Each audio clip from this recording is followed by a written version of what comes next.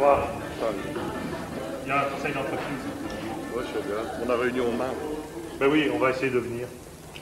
On va essayer de venir demain. Ouais. Mais euh, apparemment, les nouvelles sont pas très bonnes. Hein. Non, mais de toute façon, on s'en doutait. On ne saura quand même pas quoi avant le 30. Comment? On ne saura quand même pas quoi avant le 30, je crois. Je sais pas. Ouais. On verra. Demain, c'est une assemblée générale du personnel Ouais, 14 heures.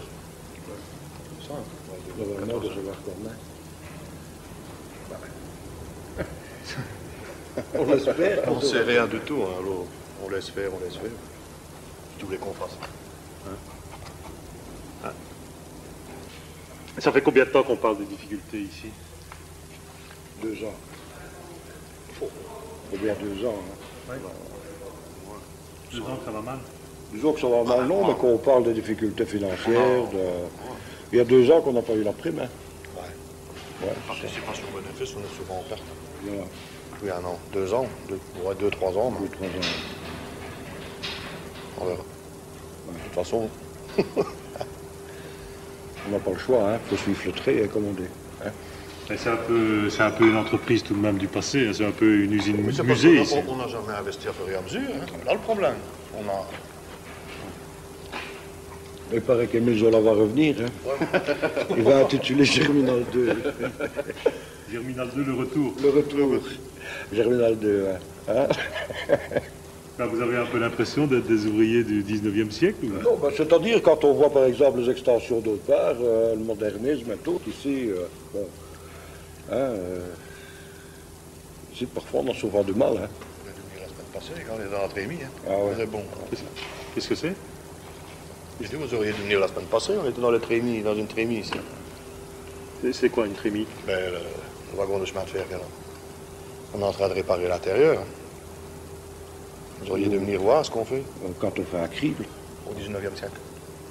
ah, le crible, c'est le 19e, hein, sans- même le 18.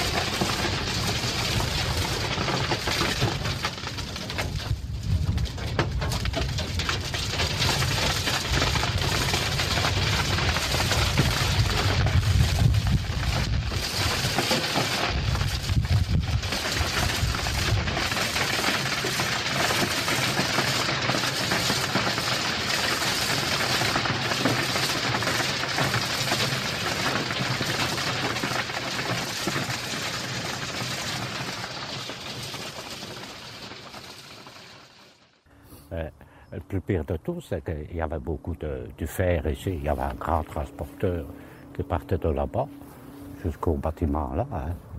Un grand transporteur. Tout ce qui a été fer, tu vas tout embarquer. hein. Mais tout ce qui, a, qui avait de la pollution dessus, ça, on a tout laissé là. hein. J'ai été surveillant.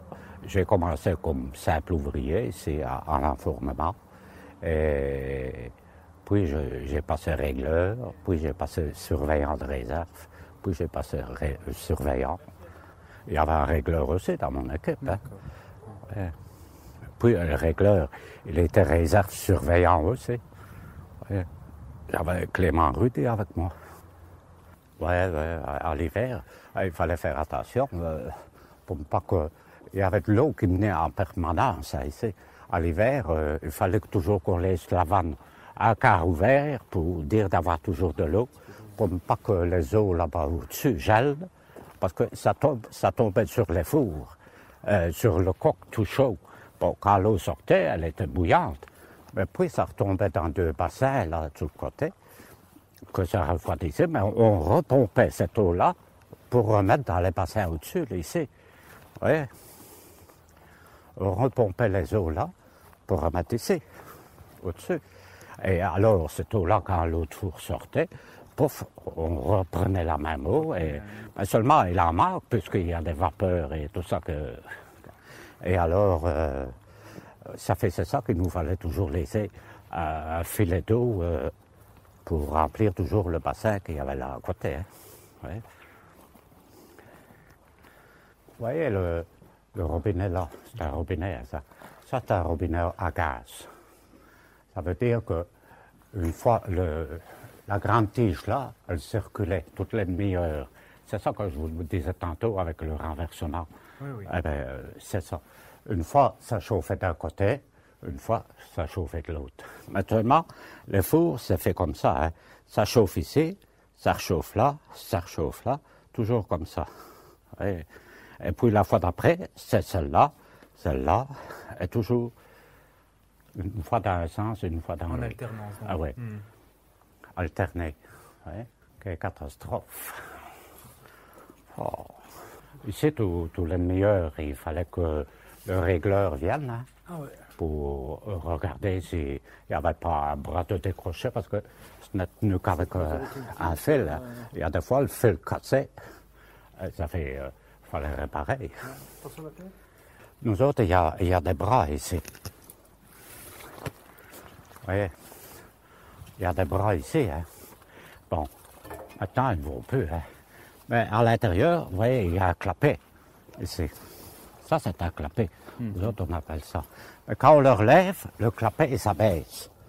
Hein. Ou sinon, on pourrait avoir le feu dans, dans le barillet.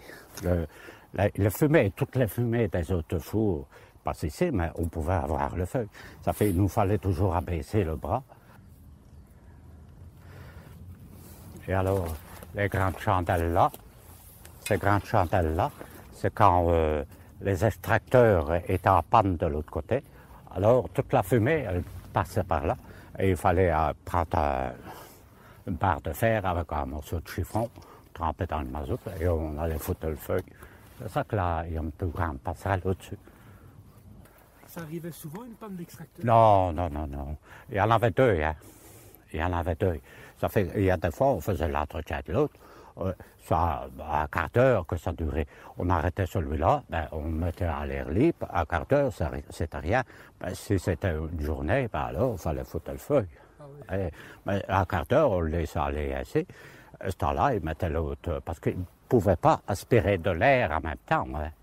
Ah non, hein. Une fois qu'il mettait en route, on devait refermer la vanne ici, hein, pour dire de, de renvoyer la fumée par là. Et ici, c'était l'enfourneuse. hein. 15 tonnes de charbon. Il y en avait deux avant qu'on ne les répare. Parce que ce- ceux-ci, il y a peut-être euh, pas 10 ans, 15 ans qu'ils ont été faits. Euh, ben, euh, il y en avait deux, le 25 et le 26. Ces deux-là, c'était les deux plus mauvais. On pouvait mettre que 11 tonnes de charbon dedans, tellement que les murs étaient cassés et tout ça. Ben, il restait dedans, hein, quelquefois. J'ai dé- déjà vu avec le gros bras hein, qui poussait 500 kilos de coque dedans. Il ne voulait pas sortir, hein? il fallait tout sortir à la main. hein. 500 kilos, pas plus. Hein.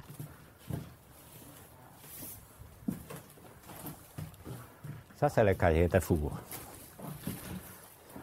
Parce que tout- toutes les 8 heures, le premier, il relevait à 6h30, 7h au matin. Puis le deuxième, il relevait vers 2h, 2h30. Et le troisième, il relevait. Mais seulement, on devait compter toujours à quelle heure que le premier a été enfourné. Voyez, on devait compter, on devait regarder l'heure des fours qu'on qu'on enfournait. Euh, et après, on comptait, il fallait. Il y a des fois c'est 36, il y a des fois c'était. euh, je ne sais plus. Tout de même dans le, dans le 20, 20, 28 par là. Eh ben, euh, il nous fallait compter pour toujours avoir 8 heures de décalage entre chaque euh, chose.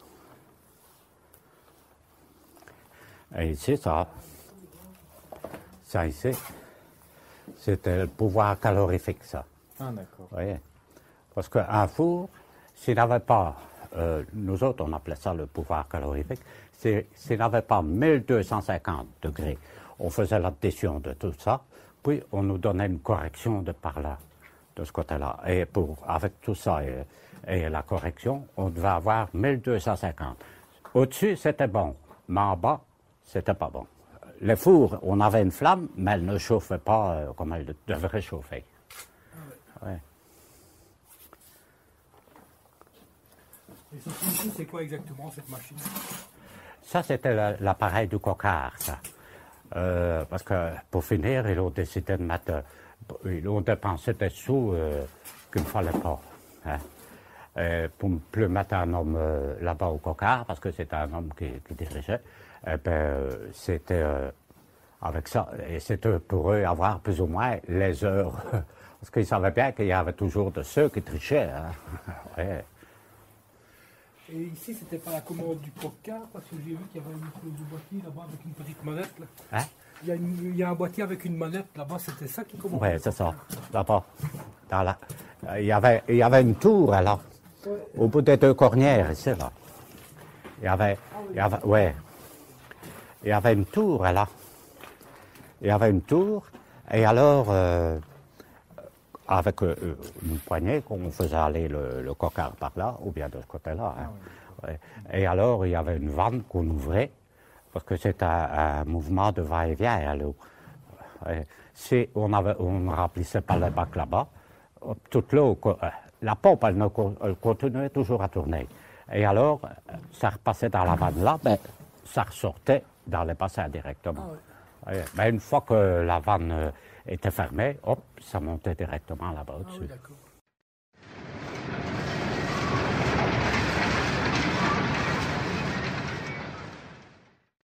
Voilà, ben mon nom c'est Freddy Dorestia. J'étais chef de service des fours. Euh, Je suis arrivé à la coquille en 1970, donc juste après que la fermeture du charbonnage, quoi. Donc quand la coquille a continué seule, quoi. Mon père, il travaillait déjà euh, comme surveillant, quoi, au four et tout. Et voilà, bon, j'étais à ce moment-là, je travaillais à la briqueterie à Surchiste. Donc je faisais les pauses, je faisais le matin, l'après-midi, mais bon, euh, ça ça me payait pas, pas très bien, quoi. Donc euh, finalement, mon père m'avait dit, bah, viens à la coquille, euh, hein, là, pour faire les pauses matin, l'après-midi, ben, tu fais les pauses, euh, les trois postes, et tu gagneras plus. Et bon, ici, on travaillait samedi, dimanche, jour férié et tout. Et c'est comme ça que, voilà, ben, j'ai fait la demande et je suis rentré, quoi. Et vous êtes rentré alors en tant qu'homme de four? Euh, non, j'étais à Distrigas quand je suis rentré. J'étais comme machiniste à Distrigas. Quoi. Et ensuite, euh, ensuite donc, il, il manquait de. Enfin, il y avait des régleurs qui, commençaient à prendre de l'âge et tout. Le chef de service à, ce- à l'époque, M. Martin, m'avait demandé si ça m'intéressait d'aller sur les fours pour apprendre à faire le régleur et tout. J'avais dit oui. C'est comme ça que vous avez appris alors Et c'est comme ça, ensuite, de, de Distrigage, je suis parti au four. D'accord. Bon, j'ai passé par toutes les échelles, hein, bon, comme tout le monde. hein. Oui, donc en fait vous avez eu une période d'apprentissage où vous avez été un jour en fourneur, un jour des fourneurs. voilà, oui, Hmm. par, par toutes les fonctions, quoi. Et ensuite, après, j'ai appris, à, appris à donc, le métier de régleur, quoi. Et voilà, après, j'ai fait le régleur, et ensuite, euh, j'ai fait le surveillant, et après, j'ai fait le chef régleur, et pour terminer, le chef de service. On fait un métier dur, quoi. Alors, euh, bon, si vous n'êtes pas dur, vous vous faites submerger, hein. Donc, il faut toujours garder les gens euh, un petit peu abrite, hein, parce que sinon, euh, vous n'en- n'en en sortez plus. Et bon, euh, ensuite, on tournait tous les jours, samedi, dimanche, jour férié et tout. Alors, si vous n'étiez pas dur, euh, parce que quand les jours fériés arrivaient, euh, c'était des demandes de congés et tout, hein, donc il fallait être ferme, mais bon, il y avait un quota à respecter. Quand le quota était épuisé, il fallait savoir dire non. Quoi. Alors, euh, si, si vous n'étiez pas dur, euh, ben, c'était le branle-bas de combat, hein, donc il fallait toujours pas montrer des moments de faiblesse. Hein. Ça ne nous, ça ne nous empêchait pas d'être amis, mais bon, dans le travail, le travail il doit être fait, il faut, il faut le faire. Quoi. Bon, parce que j'ai vu sur la feuille que vous m'aviez envoyée, justement, hein, bon, la remarque que, j'avais fait à Gérard Claude, qu'on était resté 20 minutes pour décaler la chaîne à godet, et lui, sur 8 heures, il n'y était pas arrivé. Ben, c'est parce que quand vous arrivez, bon, on- une chaîne à godet, euh, donc c'est une chaîne qui reprenait tout le, tout le détritus, si vous voulez, hein, tout le coq et tout le bazar. Ça montait, alors ça allait dans un calibre qui calibrait tout. Mais quand cette chaîne-là ne fonctionnait pas, il fallait tout mettre sur la cour. Bon. Et ensuite, il fallait tout repasser en plus de- du travail qui était fait. Ben, C'était un travail qui demandait un temps infini. Donc nous, justement, ces jours-là, on avait tout nettoyé. Tout était fini, tout était nickel et tout. Et voilà. bon, ça arrive que la chaîne elle cale, hein. Ce- C'était pas cette question-là. Apparemment, ça arrivait souvent. Oui. Mais alors, hop, on laisse ça sur le côté, on met sur la cour et terminé, hein, c'est c'est pour les autres. Parce alors c'était pour l'équipe suivante. pour l'équipe suivante. Mais finalement, nous, euh, voilà, au matin, on, on avait passé son temps tout nettoyer et tout. On arrive à 6 heures au matin, chaîne à calé, la cour qui était remplie et tout, ben ça, ça vous met hors de vous et tout. Ça bazar. met en rogne. Bon, ensuite, on se met à nettoyer, on reste 20 minutes pour la décaler, et voilà, le bazar qui retourne. Alors qu'eux, sur 8 heures de temps, ils ont préféré mettre sur la cour que de, de, de s'y mettre. Alors, euh, voilà les, les- les propos virulents. Bon, mais c'était pas méchant, c'est parce que, bon, lui, il était le responsable de l'équipe, c'est à lui à commander les gens à nettoyer. hein, voilà, hein, c'est pour ça qu'il fallait, il fallait mettre la pression aussi, hein, leur faire comprendre que. Je peux comprendre. Oui, bon, en général, un surveillant, euh, c'était un, un ré- un ancien régleur. Quoi. Donc, il, il faisait le régleur. Euh, Bon, alors, en faisant le régleur, ben, il était toujours en communication avec le surveillant et tout. C'était un peu l'adjoint du surveillant. Quoi. Donc, ils, apprenaient le métier tout en allant. C'était très dur parce que souvent, bon, quand il y avait des portes qui étaient délaissées, normalement, il devait en faire trois par, poste. Donc, sur huit heures de travail, il devait en faire trois. Ben, bon, surtout en été, quand il fait déjà très chaud, vous avez une porte euh, qui, qui pesait 3 tonnes d'ailleurs. hein, elle était chaude, on l'enlevait du four, elle était très chaude et tout, donc parce que le goudron collait sur les côtés. Mais bon, si on n'en nettoyait pas régulièrement, la couche de goudron augmentait et ensuite on, on avait du mal à, remettre les, les portes. Quoi. Et alors on abîmait les cadres et, et Il y tout. avait des flammes sur Et les il y avait des flammes sur les, sur les côtés. Francis, donc c'est ça qu'on a insisté sur le nettoyage des portes, mais il fallait insister beaucoup aussi parce que justement, ils n'aimaient pas de le faire et tout. Et c'est vrai qu'on était très mal outillés aussi. hein. On avait des grattoirs parfois qui ne taillaient pas, mais bon, le matin, l'atelier était ouvert. On savait aller les passer à la meule pour les aiguiser et tout. Mais l'après-midi et la nuit, euh, l'atelier était fermé, donc on ne savait pas y aller. Donc vous étiez un peu seul durant la nuit et il fallait se débrouiller, c'est ça? Ben oui, voilà. voilà. Alors, euh, qu'est-ce qu'il faisait? Bon, quand, quand ça ne taillait plus, on disait, oh, il est bon. hein. On, on chipotait un petit peu, après on remettait la porte. Surtout que, bon, il n'avait pas tellement beaucoup de temps non plus pour la, pour la faire, parce que comme une fois qu'on enlevait la porte du four, ça refroidissait le four aussi. Oui, hein, donc les euh, briques s'abîment. les brimes, oui, oui, hein, voilà, c'est ça. Ça a toujours été l'éternel problème, c'est le nettoyage des portes. Mais enfin, on a toujours vécu comme ça. hein.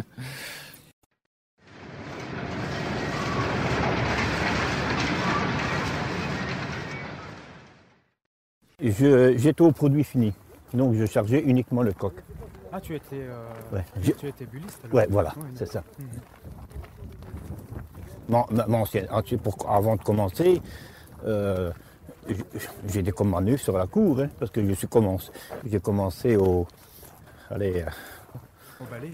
vraiment, hein, c'était à la limite. Hein. Euh, Je sortais de, de mon service militaire, c'est sans diplôme, mais j'ai trouvé du, du- du boulot ici, tout près de la maison, vu que je reste toujours au.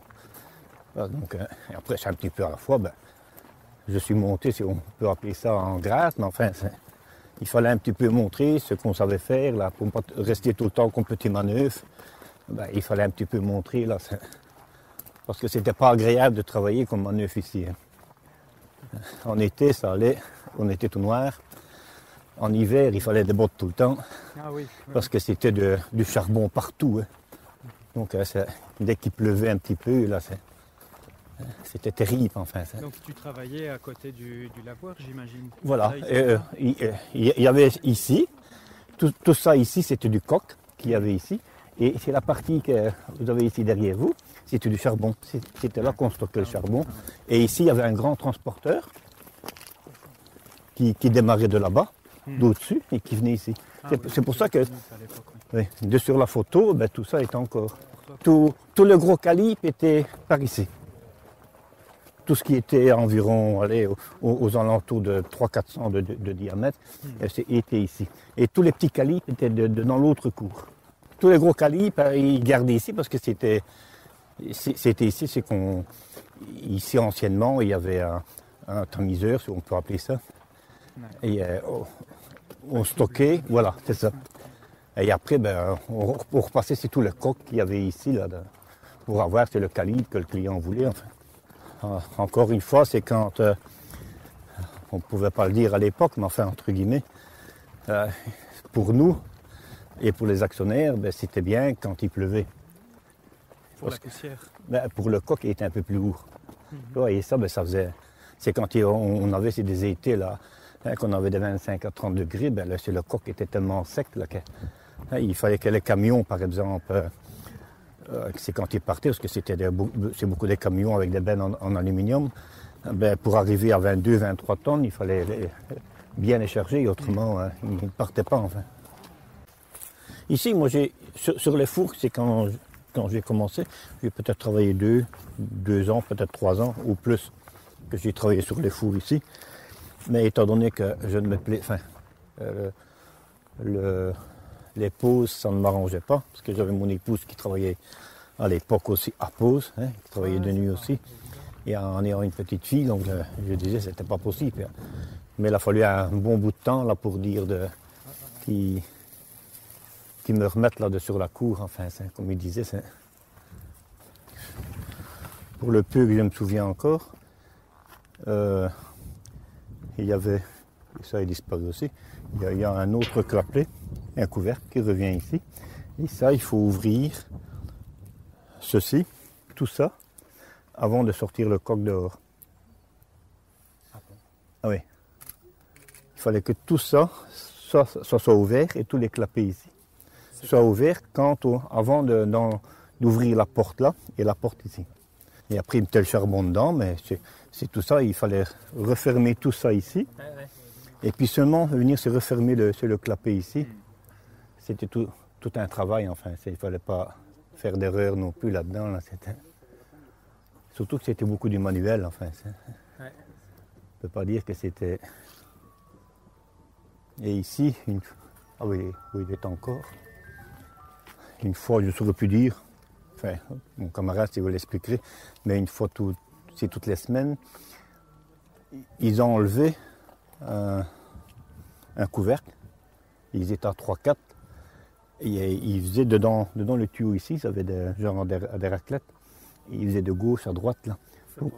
Ouais, c'est, la grosse matière là, que- qui coulait et puis qui- que ça partait là.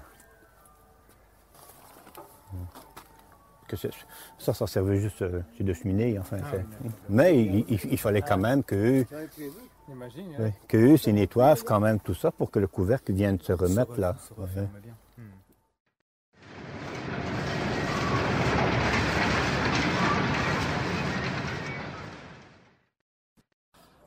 euh, je suis euh, Cherny Guidin. Euh, dans l'usine à la coquerie, je faisais fonction de, machiniste et adjoint au chef de service. Moi, j'étais au départ, j'étais grutier ici au, ce qu'on disait le culbuteur. C'est que je chargeais le charbon qui venait de par wagon. On chargeait, on les montait en instance sur la journée dans le lavoir, qu'on appelait ça, où là le, le charbon était stocké dans des, des espèces de tours. C'était aussi pour charger des, des trémies, pour envoyer. Enfin, c'était un système de, de, de service fermé. C'est- On peut continuer ou pas Bonjour chef. Un camarade Mais je sens, s'il vous plaît Ça va Ah Gilbert Salut. À la fermeture. Oui, la, la fermeture. Euh, Est-ce que tu, tu- tu es revenu une fois sur le site ou jamais? J'ai passé, je passe souvent quand même, euh, je, je n'habite pas loin, donc euh, je passe souvent en Derlu. euh, ouais, quand on passe devant l'usine, ben, ça a toujours un petit pincement au cœur. hein. Bon, j'ai eu la chance de retrouver du boulot, mais comme je dis, après 23 années passées dans la même société, on a du mal à s'habituer à autre part. Parce que tu travailles alors?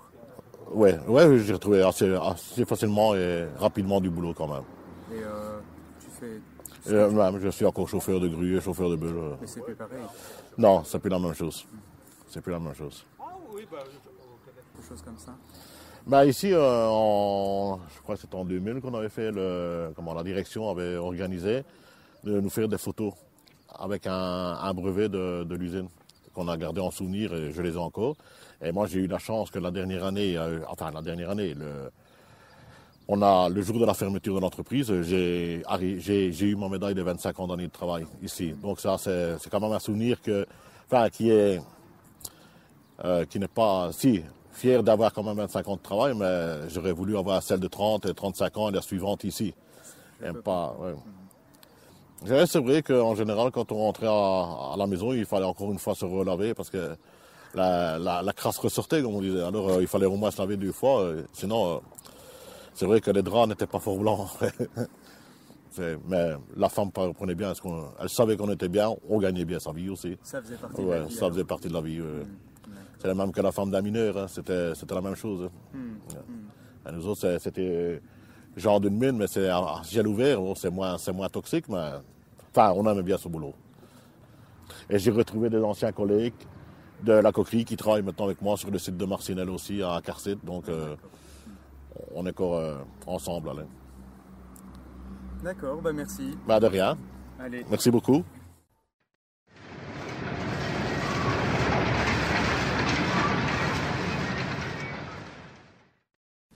Euh, une année, si on n'avait pas le docteur des antibiotiques, t'es arrivé, t'as viré, c'est pas quoi.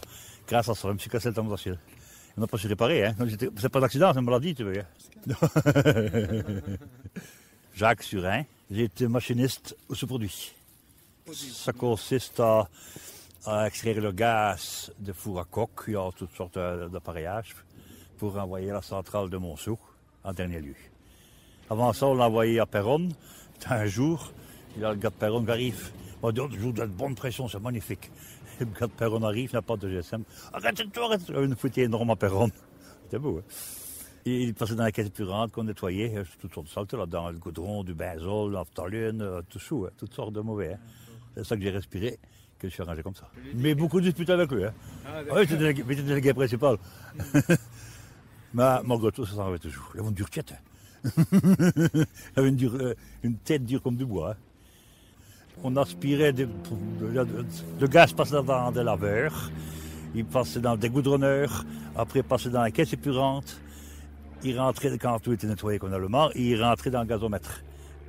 Et nous, on leur tirait du gazomètre avec des grosses machines, le premier temps, des Clark, on appelait ça. Des euh, machines comme le bazar hein, qui tournaient au gaz. Au gaz, c'est pour remettre en route la machine-là. Elle avait des volants énormes, comme on, lançait un, un compresseur à 18 kg. Et quand il tournait, il fallait la technique, on écoutait à l'oreille. Et quand C'était une technique. Et quand euh, le gaz arrivait bien, paf, on mettait. Et ça démarrait souvent. Ça durait un mois l'apprentissage, là. C'était sérieux, hein, travailler dans le gaz comme ça. hein. Il avait plein de couilles. À ce moment-là, il fallait surveiller beaucoup, hein, parce qu'on s'alimentait au gaz naturel. Et qu'elle avait une panne, un bon machiniste sans vanter comme moi, j'arrivais en allant vite à m'alimenter un petit peu sur euh, le refoulement de notre gaz. Ben, la machine n'allait pas aussi bien. hein. Il a le sous-produit. C'est la même machine, on extrayait le gaz des fours à coque qu'on distillait, et après le, goudron, le goudron et le gaz. Ça passait dans des goudronneurs qui allaient dans un bassin décantation. Et de temps en temps, tous les, les deux pouces, tous les pouces, on, on décantait, quoi, appelait ça. On retirait le mauvais goudron, collait cela, et on tapait le bon goudron dans une autre citerne que les camions venaient chercher.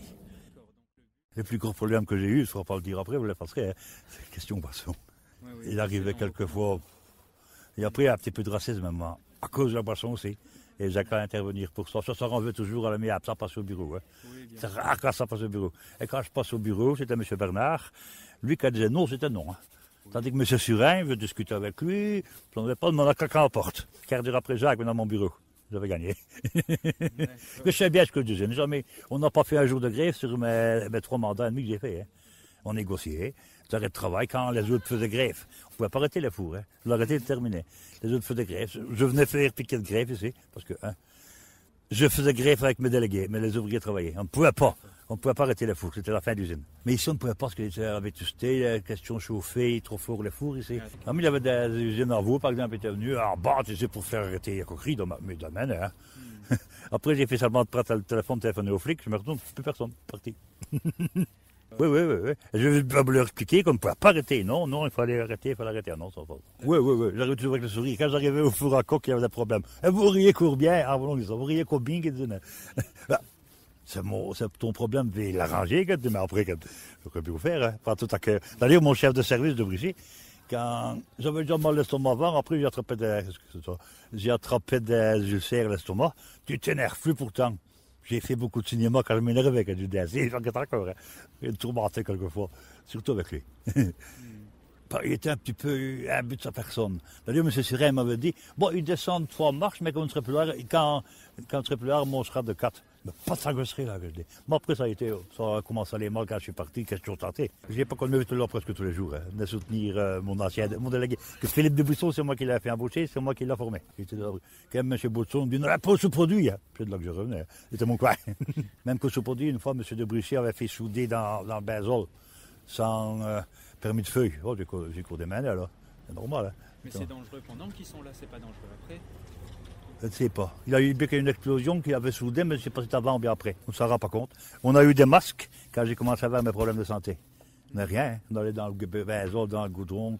J'ai fait une fois arrêter mon fils qui travaillait là, après moi Et un de ses collègues, j'arrive arrive à la maison au soir et après-midi. Tout rouge, tout pelé comme ça. Il travaillait dans une machine, je ne sais plus le nom je ne sais plus le nom, il était tout pelé avec euh, le bazol, naphtaline chaude. Plus qu'elle ne serait plus. Je suis du bois, ça oui. C'était mon métier à l'origine de menuisier. Et je suis du bois brûlé, je pourrais euh, apprendre de couper en longueur, je le prends d'un mètre, comme ça je le coupe. La doctoresse m'a dit que je ne pouvais pas arrêter, mais la pêche, ça oui. Hein. Juin, juillet, août, c'est bon La bonne période. Bon, dans ma caravane. Déjà quand je travaillais, parce que comme j'étais délégué syndical, on ne pouvait plus faire d'heures. Hein. Mais les heures que, par exemple, était nuit, j'avais une réunion syndicale à Bruxelles, je venais travailler quand même. Des heures à prendre, ça se pouvait accumuler. Parce que un mois et demi, deux mois avant, en vacances. Et je revenais tous les vendredis faire ma permanence. Après, quand était Philippe, non, Philippe était sérieux. Quel autre. Hein. et voilà, c'est bien.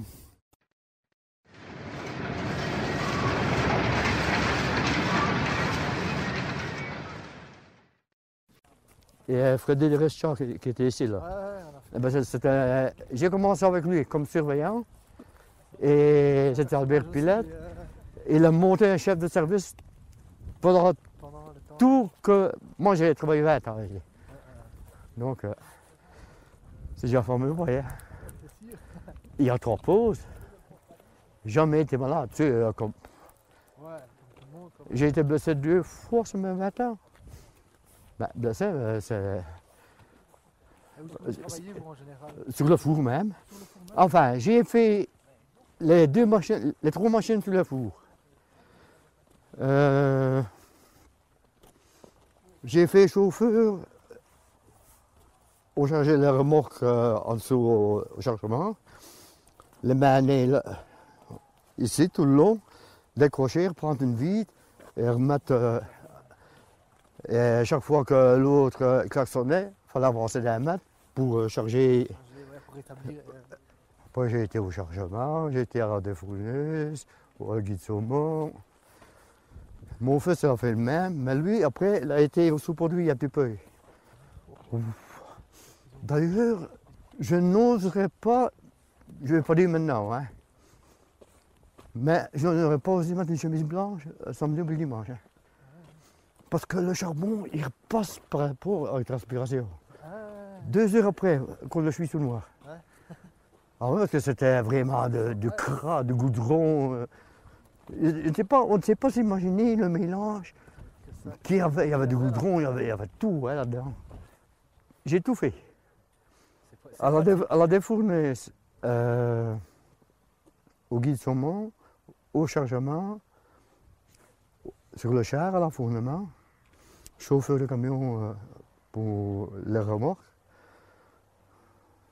qu'il faut ajuster et pour finir pompier. Enfin, je suis rentré comme pompier parce qu'il fallait un pompier en 82. Il n'y avait pas d'accord de pompier à ce moment-là. Hmm. Et pour eux, dans la loi, il fallait, comment se dire ça, euh, un service incendie, là, je vais y aller. Ainsi, ils étaient au moins un. Et moi, j'étais pompier en beige. Donc, euh, L'enfournement, c'est au-dessus. L'enfournement, c'est au-dessus, oui. Pardon. Ça, c'est la tour. Le charbon était dans la tour au-dessus. À la fenêtre qui est cassée, là. Euh, c'était. Il y avait un char, euh, avec des compartiments. Et on chargeait avec le poids qui était dit qu'on devait mettre dedans. Mhm. C'était 15 tonnes, on a fait assez de charbon poussé adéquat. Par four. Le, un char. Et dans le char, il y avait cinq compartiments. Le premier, il fallait charger à fond, à fond, à fond. Et les autres, moitié-moitié. Pour- Parce que le four, d'ici, il doit être tout droit. Et en sortant, il doit être en biseau. Parce que il se- on le pousse par ici et il sortait de l'autre côté. Oui. Et en poussant, on peut avoir un biseau pour savoir euh, peu facile pour lui sortir. Ah, Parce qu'ici, il y avait une crémaillère, comme à bras, et il poussait tout le coq de l'autre côté. De l'autre côté, il y avait un char, le coca, Le coquard, oui. et le coq tombait dedans. Et il rentrait dans la douche pour le refroidir. Ici, en dessous. C'était la douche pour le refroidir. Et après, là, on remontait sur euh, le quai, on le vidait, on le tirait sur un tapis pour monter au chargement.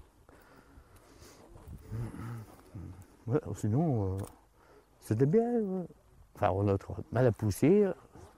C'était des grains de, coq. hein, euh, c'était pas évident. hein.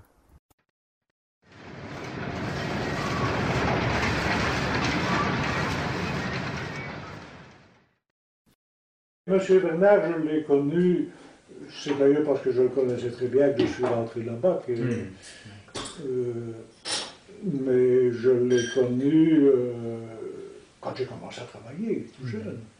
Oui, parce que nous étions ensemble comme euh, sauveteurs guides pour le, le charbonnage. Et alors nous allions à la centrale de sauvetage de Marcinelle où là, on faisait euh, régulièrement euh, des exercices. j'étais dans, dans le groupe avec M. Monsieur, Bernard, c'est là que j'ai connu. Alors, on devait rester chez soi. Et Ah non, tu on allais travailler le, le matin. Comment? Tu allais travailler le matin.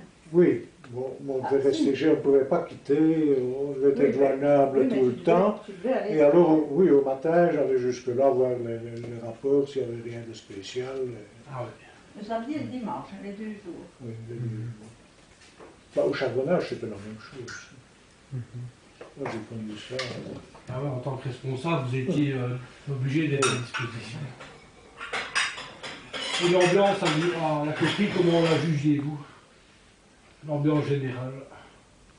Bon, au sous-produit, on s'entendait bien, hein. mais avec les fours, c'était deux divisions différentes et ça. On s'entendait moins bien, si vous voulez, avec le, le- les gens des fours.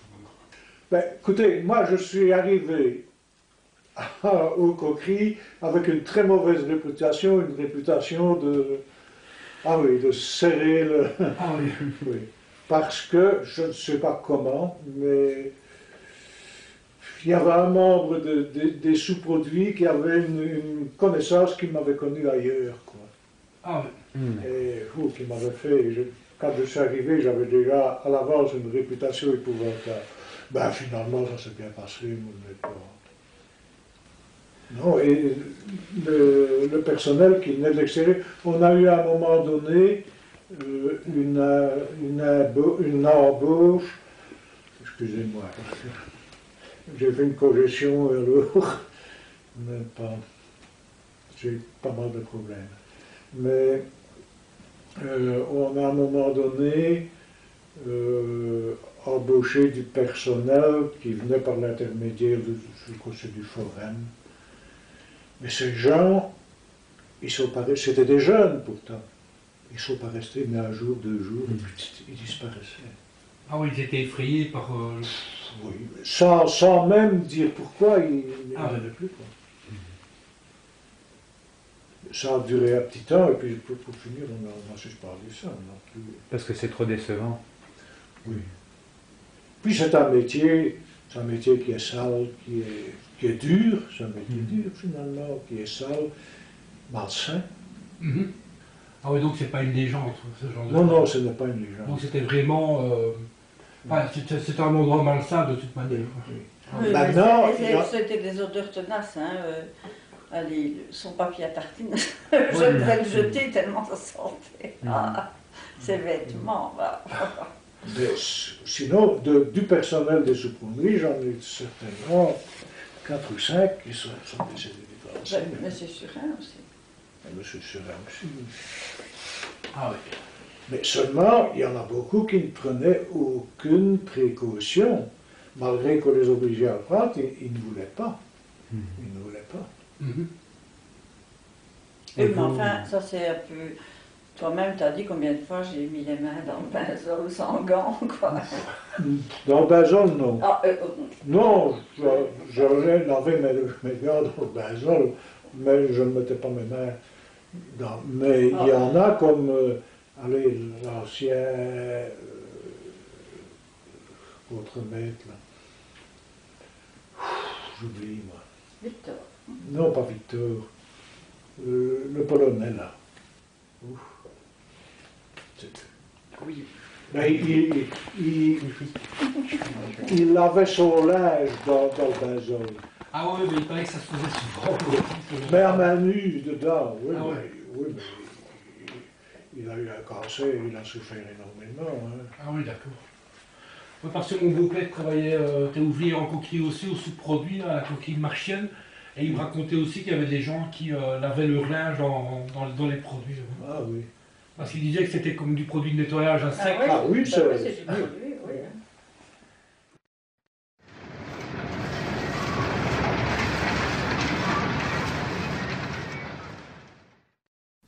Euh, donc d'abord, la, la- la toute première question, c'est de, de savoir quand est-ce que tu as commencé, c'est-à-dire à quel Moi, âge moi, je suis rentré le 17 janvier 1988. Et tu avais quel âge? J'avais, euh, en 88, j'avais 21 ans. Comme beaucoup, alors tu as commencé assez jeune. Voilà. Et j'ai commencé à la cour, donc euh, sur la manutention. La manutention, tu conduisais un bulle? Non, non, quand j'ai commencé, j'étais sur la cour, j'étais, je faisais, on travaillait à voie, on faisait les voies ferrées, on travaillait au culbuteur quand il y avait des rames, les rames de charbon. Ça veut dire donc vider, vider les rames. Voilà, c'est ça. D'accord. Quelle était ton, ta première... Est-ce que tu as un souvenir d'une première impression quand tu es arrivé sur la, sur la coquerie Bah, c'était. Mon impression, c'était que c'était, convivial. C'était, familial, beaucoup. hein. Enfin, c'est, l'impression qu'on avait, quoi. Tout le monde se connaissait et tout le monde se respectait surtout. C'est pas forcément ce qu'on nous a dit. Non On nous a dit que par rapport à la hiérarchie, il y avait des fois où ça manquait de respect. Ouais, non, moi je parle au, au niveau des ouvriers. Au niveau au des niveau, ouvriers. au niveau de la hiérarchie, euh, bah, disons que les anciens, quand moi j'ai commencé, c'était le directeur, c'était M. Bernard, et par là, le sous-directeur, c'était M. Surin. Et ces gens-là ne passaient jamais à côté des ouvriers sans dire bonjour. Après, quand d'autres sont venus, comme M. Disneyki, M. Gogol, euh, ça, ça a changé, quoi, évidemment. On a toujours dit que ces gens-là, c'était les liquidateurs quand ils sont arrivés. Donc, Dès leur arrivée alors. bah, c'est, le sentiment que tout le monde a eu. Quoi. Donc vous aviez compris ce qu'elle est. Bah, ce c'est ouais. Hmm.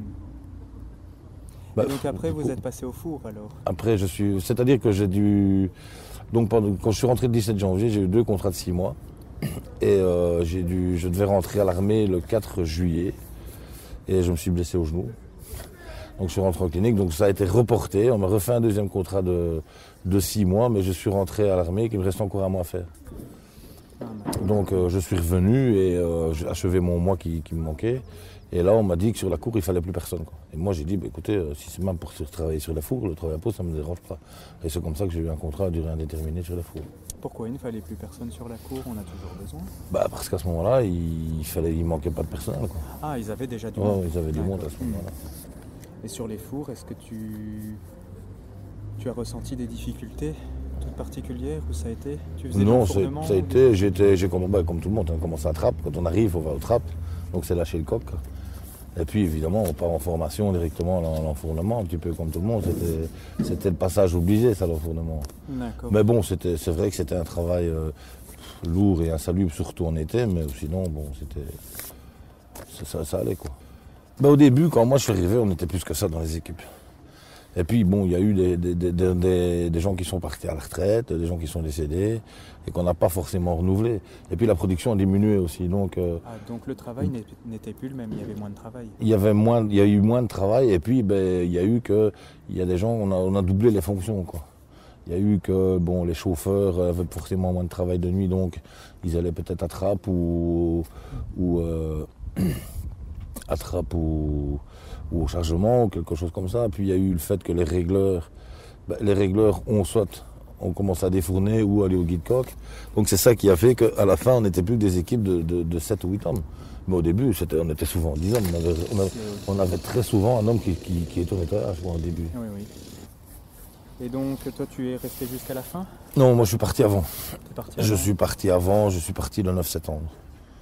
Parce que j'avais. Bon, on voyait bien, je- j'avais vu où ça allait, je m'en étais rendu compte, donc j'avais appris. euh, maintenant je suis plafonneur. Mhm. Donc j'avais appris ce métier-là sur mes côtés. Donc quand on était en repos, on travaillait donc 6 jours, 2 jours de repos. Ben, mes jours de repos, j'allais travailler euh, dans une entreprise de plafonnage pour apprendre à plafonner. Quoi. Pour arrondir les fins de mois. Au, au- non, au début, je ne suis pas parti pour arrondir les fins de mois. J'ai fait ça, c'est pour apprendre un métier au cas où ça fermerait ici. Quoi. Et, et puis bon, euh, ça, ça marchait bien. Et quand je faisais la nuit ici, ben, je faisais la nuit, je rentrais chez moi, je reprenais une mallette, je partais, je repartais travailler. Et euh, bon, le patron là-bas a vu que ça allait bien et il m'a dit écoute, euh, si tu veux quitter ton usine, tu viens, je te- je t'embauche. Et c'est comme ça que je suis parti. Mais quand je suis arrivé dans le bureau, de M. Djesneki, euh, je lui ai dit ben voilà, je suis venu vous trouver pour que vous me mettiez dehors. Et il m'a dit ben ne partez pas, on ne va pas fermer. Le 9 septembre. Il m'a dit ça, bon, pas le 9, mais le, le 2-3 2-3 septembre, quoi. Et le 29 novembre, c'était fermé.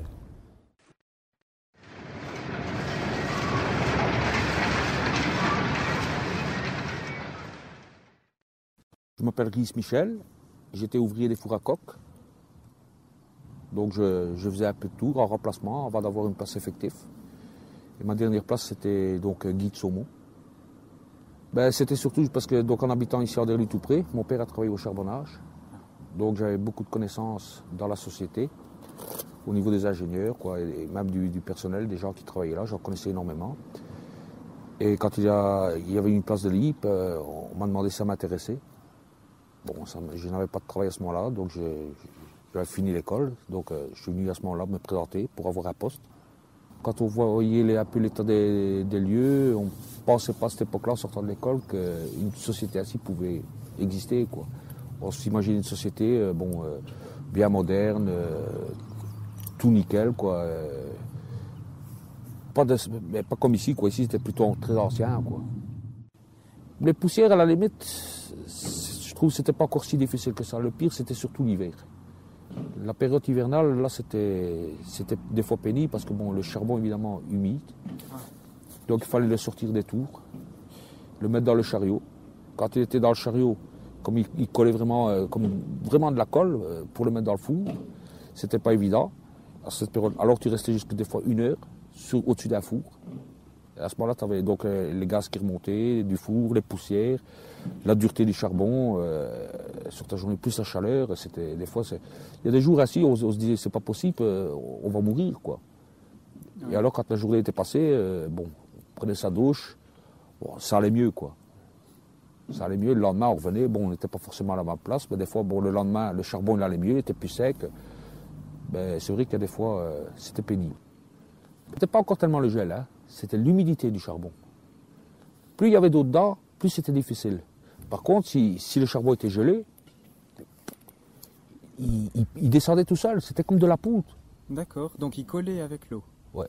D'accord, c'est ça. Et alors tu devais donner des coups de baramine? Comment ça se passait? Ouais, on devait prendre des picots, piquer dedans. Des fois, toute l'équipe, de- pour faire un four à chaque four, l'équipe devait monter entièrement pour faire un four. Euh, ah ouais, c'était des fois, euh, cette période-là, des fois c'était atroce.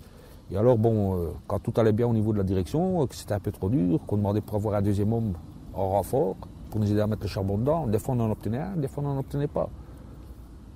Mais bon, euh, Tu ici. devais toujours te débrouiller de toute façon pour, Ah oui. pour enfourner des Ah oui, oui. Et les, les fours qui n'étaient pas effectués, euh, ça tombait sur l'équipe d'après. Il y avait des périodes, c'était assez souvent. Oui, c'était surtout à cause du temps. Quoi. Hmm.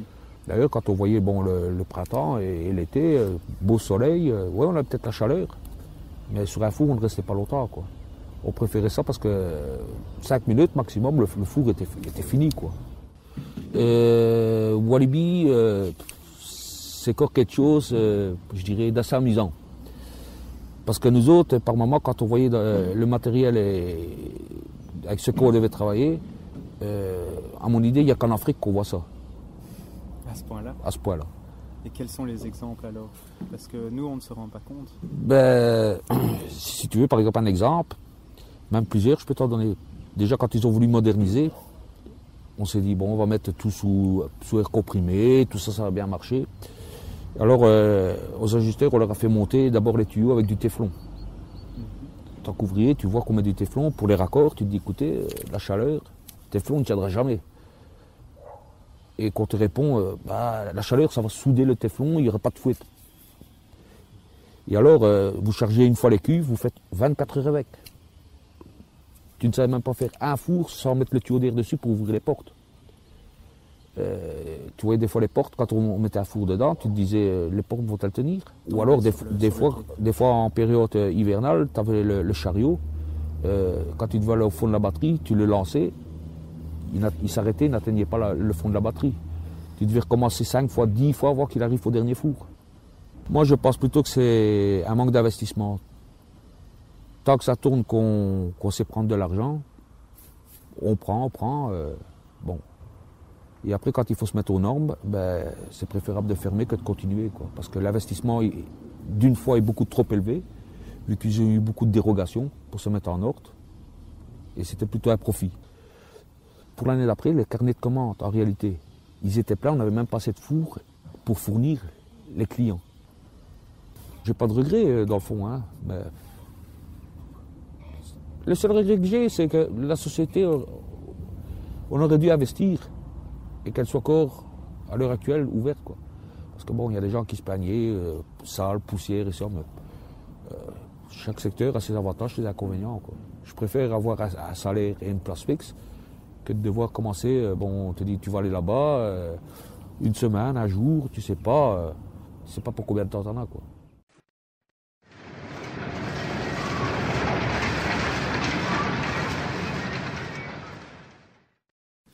Je m'appelle Philippe Dubuisson, né le 15 de 453 à Saint-Paul. Alors, je suis natif d'Anderlu. Et j'ai brûlé ma vie assez bien. Par exemple, j'étais un mari de marchande, puis j'ai arrêté, je me suis marié, et de fil en aiguille, de boulot en boulot, je suis venu au coquille d'Anderlu en 1982. C'était un atelier mécanique, un entretien général pour toute l'entreprise. Donc, s'il y avait des réparations à faire, aussi bien avec les gens des fours, parce qu'il y avait un atelier spécifique pour les fours aussi d'entretien, nous allions avec eux. Nous faisions les entretiens des sous-produits, donc euh, machines à claque, l'extraction de gaz et tout ce qui s'ensuit, euh, plus les, camions et tout ce qui est mécanique. De, de l'atelier mécanique, je suis passé aussi à la chaufferie, responsable à la chaufferie avec un collègue qui malheureusement est en clinique. Et euh, là, on s'occupait de la production de la vapeur, en même temps tout ce qui est réchauffement, gaz et tout ce qui s'ensuit. Ça, c'était la chaufferie. Je suis rentré euh, dans le mouvement syndical des coquilles d'Anderlu via M. Jacques Surin, qui était délégué principal. J'ai suivi les formations et puis je l'ai remplacé comme délégué principal. Et les élections précédentes, je passé donc vraiment ce qui s'appelle le responsable des délégués au coquilles d'Anderlu. J'ai continué comme délégué principal. J'ai eu les restructurations qui malheureusement sont venues, supprimer le personnel et tout ce qui s'ensuit. Et alors j'ai eu aussi la fermeture. euh, En 79, la restructuration non, non, en 79, là, malheureusement, je n'étais pas là. Euh, en 79, il y avait déjà eu un avis de fermeture qui ne s'est pas fait, puisqu'il y a eu une, re- une reprise du coq, une renommement du coq, donc ça ne s'est pas fait. Mais puis avec les années, euh, dans les années 80, ça allait encore, et puis ça, non, non, ça a commencé à diminuer. Euh, médiateur, négociateur entre le, le personnel et la direction. Donc nous avions un conseil d'administration, comme dans toutes les entreprises, conseil d'entreprise, euh, conseil de sécurité, et bon, euh, vous aviez plusieurs personnes qui avaient plusieurs rôles. En, en délégation syndicale, euh, ce qui est sécurité, un groupe, et un groupe en délégation, ce qui est conseil d'entreprise, pour tout ce qui est finance, des décisions à prendre ou pas sur s'il y a des travaux à faire ou, ou- ou tout ce qui, ce qui s'ensuit de ce côté-là. Ah, les délégués sont entre le marteau et l'enclume. hein. On ne s'est jamais toujours euh, satisfait aux demandes de tout le monde. À la direction, c'est pas toujours évident, surtout quand il y a eu des restructurations et que le personnel n'était pas habitué à travailler. Par exemple, pour Four, il travaillait à 14, 14 ou 15 personnes. Et puis on a diminué. Puis quand la direction est arrivée, la nouvelle direction, avec les statistiques qu'ils ont, qu'il manquait autant d'ouvriers, parce que c'est comme ça qu'on voit, tiens, ben, sur une année, il manque quand même autant d'ouvriers par poste. On n'est pas obligé d'avoir autant d'ouvriers, donc ils se sont retrouvés à 9, 10, qu'ils étaient à 15. Et pour eux, c'est un changement, surtout Coquille dans je crois que c'est une des usines où on était, je veux dire, il y avait le, le patron était le beau-père de famille, M. Bernard, c'était encore familial.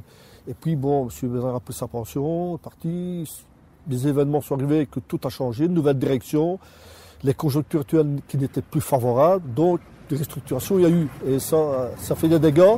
Il faut dire à des types, voilà, euh, vous prenez la prévention, beaucoup plus sévère pour euh, le manquement des gens qui, qui venaient, je viens pas travailler aujourd'hui, je suis pas bien. Enfin, bon, comme partout, mais bon, euh, il y a un moment, on a dit maintenant, halte là.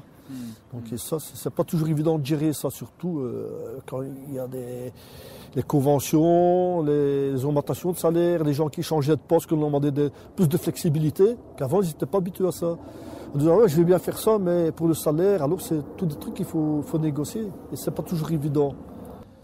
Alors une anecdote, c'est qu'avant, ici c'était un syndicat, il y en avait qu'un, c'était FGTB. Alors euh, puis la CSC avec quelques membres a renversé. La CSC a fait la même chose. Euh, ici, le syndicat, c'est la CSC. La FGTB était là, mais aux entreprises, c'était toujours la majorité. Et puis, les années ont évolué. Et quand je suis passé, j'ai toujours dit, on ferait deux délégués, mais un, si aux élections, celui qui gagne devient le principal. Mais il y aura un délégué principal à la FGTB aussi. Donc, on sera à deux. Il y aura un président des délégués, c'est celui qui, qui remporte les élections. Donc, moi, j'étais le président et le principal. Mais Daniel Feder était, oui. Mais on avait, il avait aussi bien son mot à dire que moi. Bon, s'il y avait une décision importante qu'il fallait trancher, bon, ben, c'est- moi qui tranchais, mais je veux dire que Daniel Feder, qui était le dernier délégué principal avec moi, on s'entendait bien. Et si on aurait eu ça beaucoup plus tôt, on n'aurait peut-être pas eu les problèmes qu'on avait dans le temps, disant Ouais, je ne veux pas ci, je ne veux pas là. Et la FGTB voulait ça, la CLC venait toujours. Ou bien, dans les deux cas, d'un côté ou de l'autre, c'était comme ça que ça allait. Euh, avec le recul, maintenant, disons que ça va, même prépensionné, je suis. J'étais le dernier ouvrier de Coquerie dans Derlu à avoir son, son préavis en tant qu'ouvrier, parce que j'avais 50 ans le 15 avril, et donc j'étais le dernier en 2003, qui, sauf ceux qui sont malades, qui sont toujours sur le pré-road de Coquerie en longue maladie. Hmm.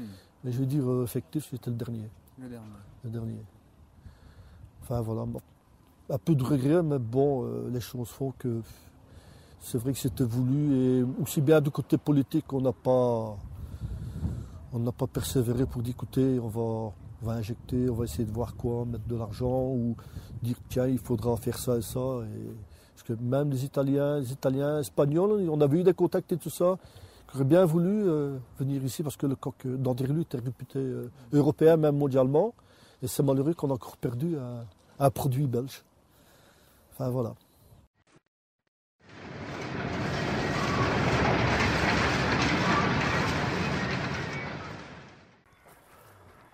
Tu sais, quand c'était l'hiver, euh, qu'il faisait bien froid, euh, ben, il y a des, des périodes où c'était beaucoup plus calme. hein. On faisait, au lieu de faire 10 fours par jour, on en faisait quelquefois que 5 quand c'était fort, fort calme. hein, parce qu'on ne pouvait pas arrêter carrément les fours. hein. Alors, les, les hommes, normalement, moi, il fallait les commander pour soit nettoyer ou bien ci ou bien là. Je leur disais, allez, dépêchez-vous autres.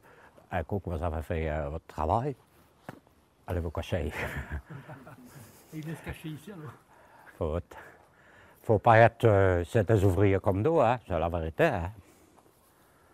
Et est-ce que c'était votre Oui, qu'est-ce que je vous disais? Toute l'eau des bassins là-bas, il y a deux grands bassins. hein, Hmm. de- de ce côté-ci, où ce que vous voyez les lignes blanches là, ben, c'est deux grands bassins. Il y en a un de ce côté-ci et l'autre par là. Et alors, ça retombait dessus le wagon là en dessous. Et puis l'eau de- du wagon, elle retombait dans les trois bacs qu'il y a là. Voyez, Il y en avait un qui récoltait tout. Toutes les grosses poussières restaient dans le premier. Ben, il y en avait un deuxième, parce qu'il y a toujours deux, deux flux. hein. Ça, fait, ça retombait dans le troisième, puis ça retombait dans, dans, dans, le- dans le troisième plutôt. Euh, premier, deuxième et troisième. Et le troisième, là, il y avait deux pompes qui repompaient les eaux et qui renvoyaient les eaux ici au-dessus. Et c'est dans lequel qu'il y a quelqu'un qui est tombé dedans? Hein? Il y en a un qui est tombé Ouais, dedans. mais il y a des années, moi, je n'ai pas connu ça. Vous n'avez pas connu la connu. pareil. Ouais. Ouais, il était cuit. C'est le, seul, euh, seul tué qu'il y a eu Ouais. ici. hein. Ouais, ouais. Est-ce que derrière, c'était votre bureau ou pas? Ouais, par là. Bon, on va aller voir. On va faire une photo dans votre bureau. hein. Ouais, on appelait ça un bureau. Et alors, quand c'était ça, Nous autres, c'était ça barbe qu'on faisait. hein. Et on avait, on nous retirait à four. C'était, c'était la période qu'il y avait monde un petit peu, de travail. On nous retirait à four seulement. On avait droit à deux heures de gaz. Mais il nous fallait faire, au lieu d'avoir dix fours, on avait, là, on avait neuf. Il nous fallait faire le travail de huit heures, de sur, de sur six. Ben, on n'avait pas le temps d'arrêter. Hein. Ça fait, moi je disais à les gens, allez, hop, et ça sortait, hein, et ça sortait les fours. Tous les demi-heures, ils sortaient deux fours. hein. Normalement, il y a des heures à se respecter. hein. Eh bien, tous les demi-heures, il y avait euh, quelquefois une heure, minuit, on avait fini. De 10 heures au soir à minuit, on avait tout fini, les fours, et après, hop, on faisait ça.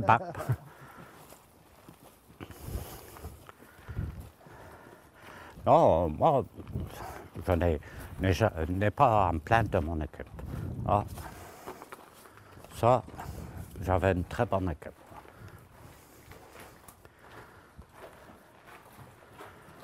Ça, c'était le réfectoire. Il était propre, hein? Hein? C'était propre, hein? Et ça, c'était le bureau. Non, c'était votre bureau. Ouais. Enfin, le bureau des surveillants.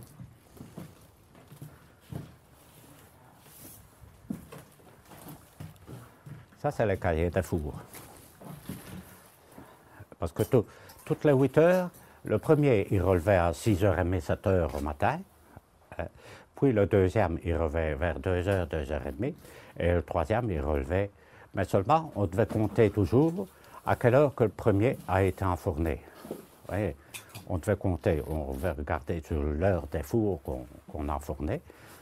Euh, et après, on comptait, il fallait. Il y a des fois c'est 36, il y a des fois c'était. Euh, je ne sais plus. Tout de même dans le, dans le 20, 20, 28 par là. Eh ben, euh, il nous fallait compter pour toujours avoir 8 heures de décalage entre chaque euh, chose. Et ici, ça. Ça ici, c'était le pouvoir calorifique, ça. Ah, d'accord. Voyez Parce qu'un four, s'il n'avait pas, euh, nous autres on appelait ça le pouvoir calorifique, s'il n'avait pas 1250 degrés, on faisait l'addition de tout ça, puis on nous donnait une correction de par là, de ce côté-là. Et pour, avec tout ça et, et la correction, on devait avoir 1250. Au-dessus, c'était bon, mais en bas, c'était pas bon. Les fours, on avait une flamme, mais elle ne chauffait pas euh, comme elle devrait chauffer. Ouais. Et ce c'est quoi exactement cette machine? Ça, c'était la- l'appareil du cocard, ça. Euh, parce que pour finir, ils ont décidé de mettre. Ils ont dépensé des sous euh, qu'il ne fallait pas. hein. Euh, pour ne plus mettre un homme euh, là-bas au cocard, parce que c'était un homme qui, qui dirigeait, eh ben, c'était avec ça. Et c'était pour eux avoir plus ou moins les heures. Parce qu'ils savaient bien qu'il y avait toujours de ceux qui trichaient. hein. Ouais. Ça. Et ici, c'était pas la commande du cocard, parce que j'ai vu qu'il y avait une espèce de boîtier là-bas avec une petite manette. Là. Hein? Il, y a une- il y a un boîtier avec une manette là-bas, c'était ça qui commandait? Oui, c'est ça. Là-bas. Dans la- Il y, avait, il y avait une tour, là. Au bout des deux cornières, ici, là. Il y avait. Il y avait ouais. Il y avait une tour, là. Il y avait une tour. Et alors, euh, avec euh, euh, une poignée, qu'on faisait aller le, le cocard par là, ou bien de ce côté-là. hein. Ouais. Et alors, il y avait une vanne qu'on ouvrait, parce que c'est un, un mouvement de va-et-vient à l'eau. Si on, avait, on ne remplissait pas le bac là-bas, toute l'eau, la pompe, elle, ne co- elle continuait toujours à tourner. Et alors, ça repassait dans la vanne là, mais ça ressortait dans le bassin directement. Ouais. Mais une fois que la vanne euh, était fermée, hop, ça montait directement là-bas au-dessus. d'accord.